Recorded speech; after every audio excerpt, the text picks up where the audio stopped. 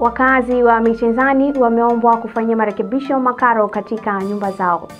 Mwakilishi wa jimbo la Chonga amekabidhi shilingi milioni mbili za ujenzi wa skuli ya Pujini. Kuanguka kwa maguzo umeme yakosesha huduma Pete. Kimataifa, korona inaathiri zaidi wa Latino na Marekani weusi. Irani yakanusha uvumi kwamba vikosi vya ulinzi vimeingia ndani ya meli zinazopita katika ghuba ya Uajemi. Innahdha yakabidhi habari za kukamatwa kinara wake Hashidi Ghannouchi.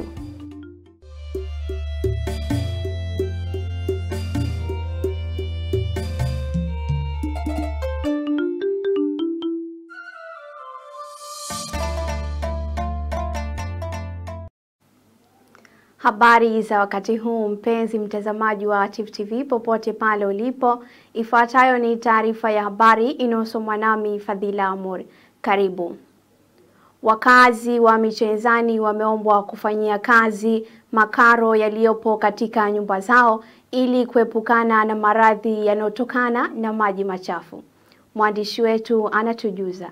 Wakizungumza na Tifu TV, baadhi ya wapita njia wa Michenzani wamesema kuwa majumba ya Michenzani ni vizuri yaboreshwe makaro kwa kufanyiwa matengenezo, kwani uwepo wa maji hayo machafu husababisha maradhi mbalimbali. Maji machafu kusema kwake yanaathiri sana, kwa sababu kwanza wapita njia yanatukera, halafu isitoshe maradhi sasa hivi mengi.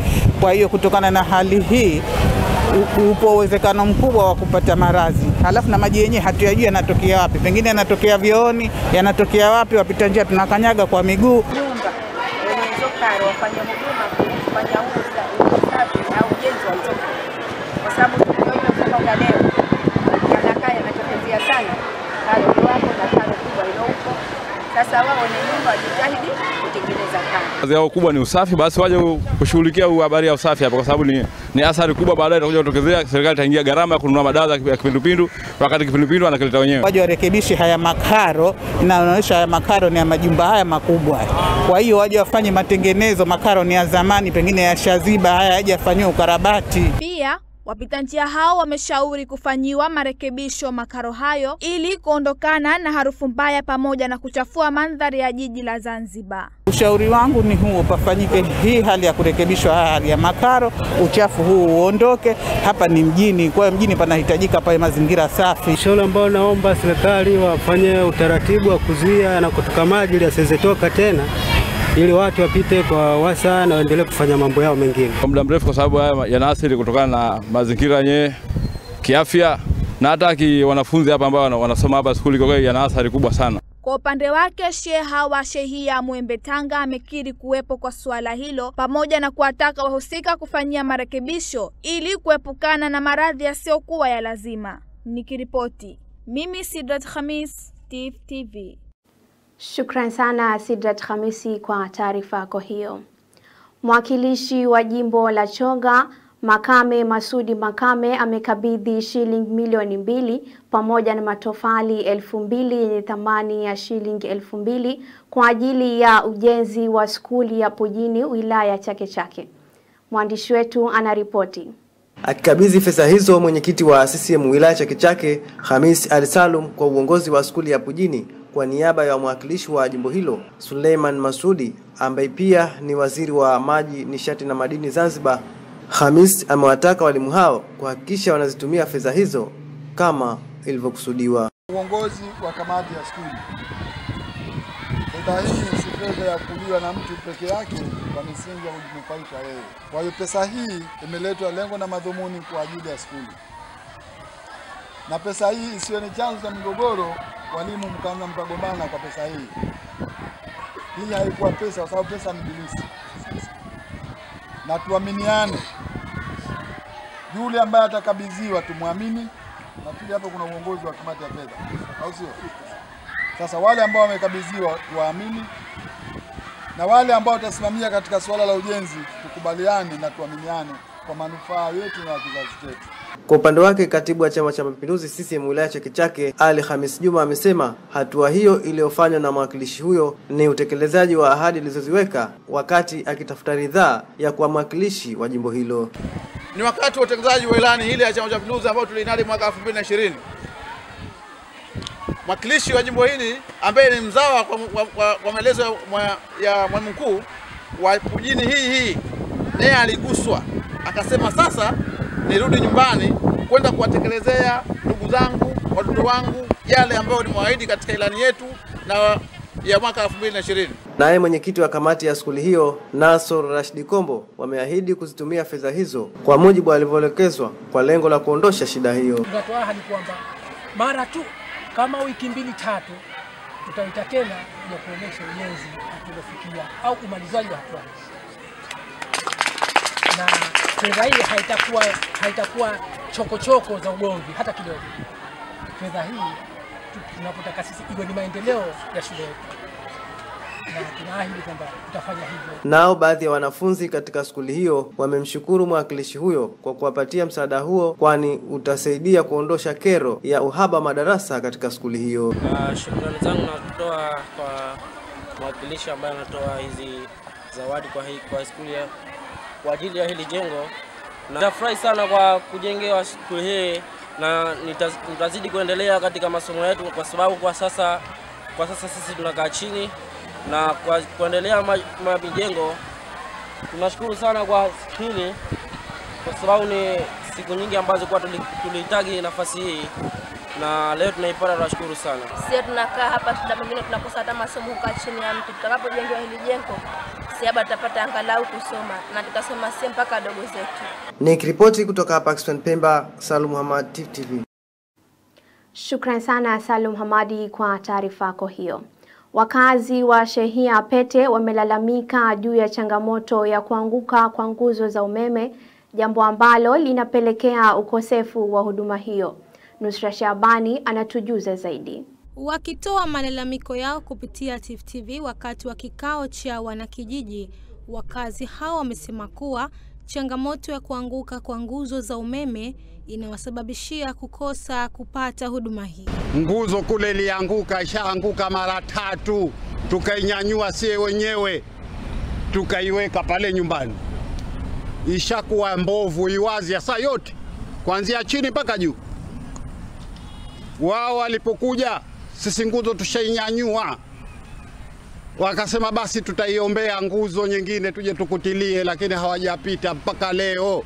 wakaja na kutia nguzo siku nzima mpaka saa moja za usiku, lakini cha kushangaza toka waeke hizo nguzo hizo waya zimetiwa, maana tujiulize sie na ndio maana tukasema kwamba tupo tu, tuko kwenye usanii. Kama kweli walikuwa wana kasi ile ile, basi ingekuwa tayari hata waya tungekuwa tushaziona zimetiwa. Kwa upande wake, naibu sheha wa shehia hiyo ndugu Musa Saleh Mihambo amesema kuwa kufuatia kuanguka kwa nguzo hizo tayari wameshawasilisha kwa mamlaka husika, hivyo ni vyema wanakijiji hao kuwa na subra. Kesi ya hizi nguzo ilionekana katika manake, hata ikute nguzo moja imeanguka, hafiki kule akazoa tu, inabidi apeleke maombi. Nguzo akipata gari ya kumsafirishia anakosa. Mpaka mimi binafsi nilisema kwa, nilifika kusema ah, kama kesi usafiri, kijiji cha pili tuko tayari kutoa gari tulete. Jibu likatoka kwamba ah, hairuhusiwi gari gari binafsi kuingia kwenye shirika sawa. Eh? Kwa hivyo mimi ni- niendelee kusema kwamba bado tuendelee kuwa wastamilivu, tuendelee kuwakumbusha pale ambapo tukiona kwamba siku zinakwenda.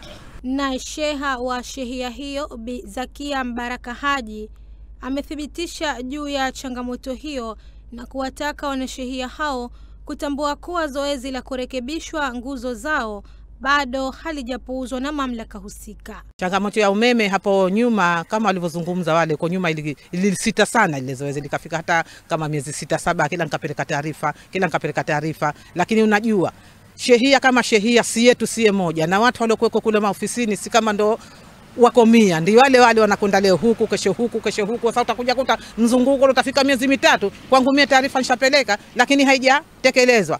Hata juzi jamii kama jamii ndo unaona utashiwa nje, si vibaya, maana ndo wameshitua wamepeleka kunako mawio kupeleka kwa mwenye mawio. Nashukuru wamekuja sehemu tatu, wakurugenzi wamekuja, wahusika wakubwa wakubwa wamekuja, wa wafanyakazi wamekuja, na tumetia nguzo hizo hapo zilizopungua kama kumi na tano, lakini pia hazijamalizika. Wameshinda jana tu Sasa ninachoamini, madamu imefika hatua ile, haiwezekani kuwa asije siku zote. Nikiripoti Nusra Shaban, Tifu TV. Naam, mpenzi mtazamaji wa Tifu TV, taarifa yake hiyo Nusra Shabani ndiyo ambayo imetukamilishia habari zetu za ndani. Na kimataifa, habari kuu ni Iran yakanusha uvumi kwamba vikosi vya ulinzi vimeingia ndani ya meli zinazopita katika ghuba ya Uajemi.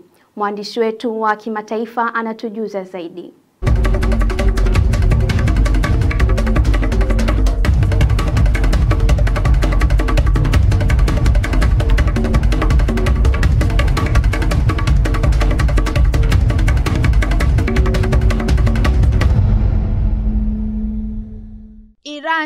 Iran yakanusha uvumi kwamba vikosi vya ulinzi vimeingia ndani ya meli zinazopita katika ghuba ya Uajemi. Msemaji wa Wizara ya Mambo ya Nje ya Jamhuri ya Kiislamu Iran imekanusha vikali madai ya baadhi ya vyombo vya habari vya Magharibi na vilivyodai kwamba vikosi vya ulinzi vya Iran vimeingia ndani ya meli zinazopita katika ghuba ya Uajemi na bahari ya Oman. Saidi Khatibzadeh asisitiza kuwa uvumi ulioenezwa kwamba vikosi vya ulinzi vya Iran vimeingia ndani ya meli zinazopita katika eneo la ghuba ya Uajemi na bahari ya Oman hauna ukweli wowote, na akatahadharisha kuhusu uenezaji habari za uongo unaofanywa na vyombo vya habari vya Magharibi na vya Kizayuni.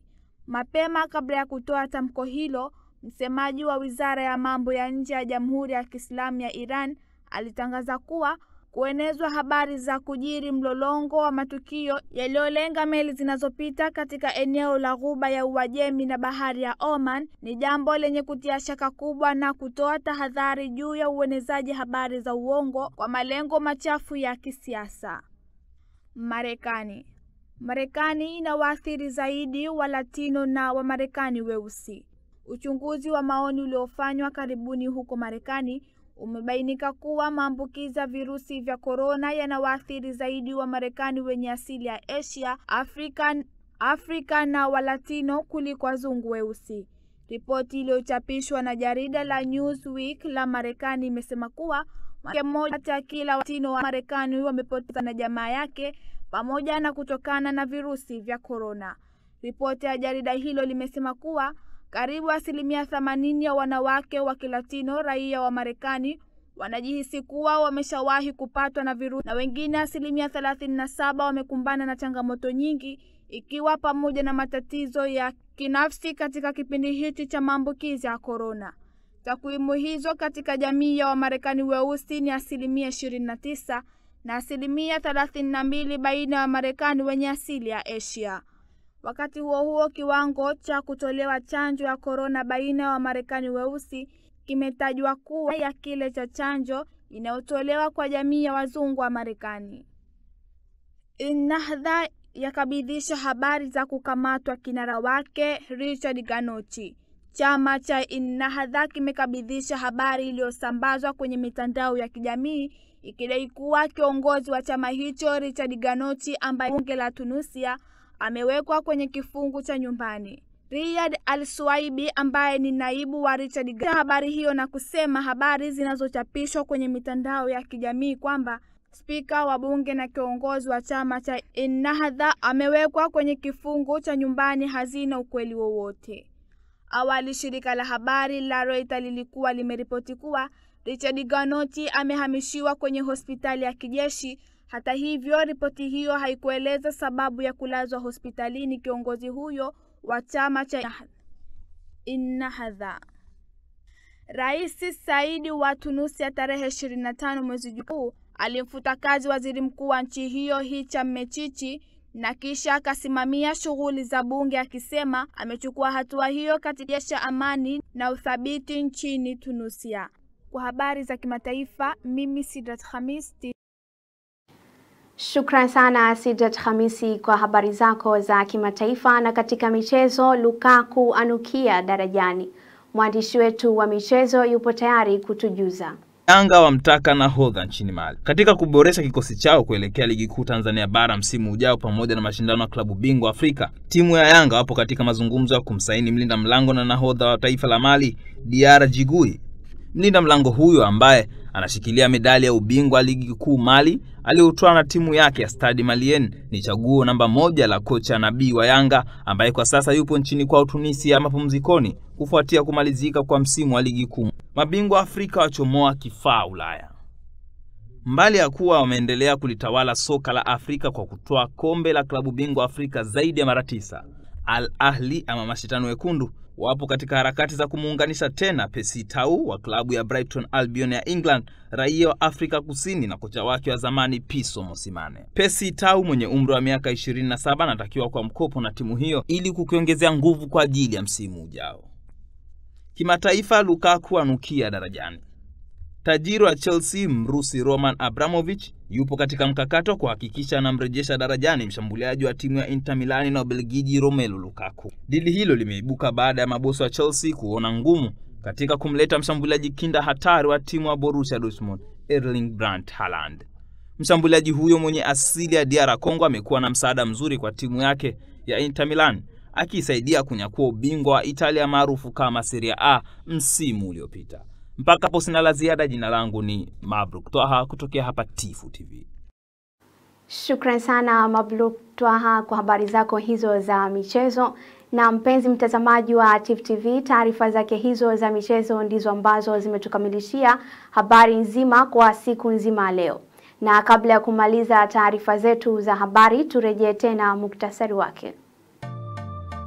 Wakazi wa Michenzani wameombwa kufanyia marekebisho makaro katika nyumba zao. Mwakilishi wa jimbo la Chonga amekabidhi shilingi milioni mbili za ujenzi wa skuli ya Pujini. Kuanguka kwa maguzo umeme yakosesha huduma Pete. Kimataifa, korona inaathiri zaidi wa Latino na Marekani weusi. Irani yakanusha uvumi kwamba vikosi vya ulinzi vimeingia ndani ya meli zinazopita katika ghuba ya Uajemi. Innahdha yakabidhi habari za kukamatwa kinara wake Hashidi Ganuchi.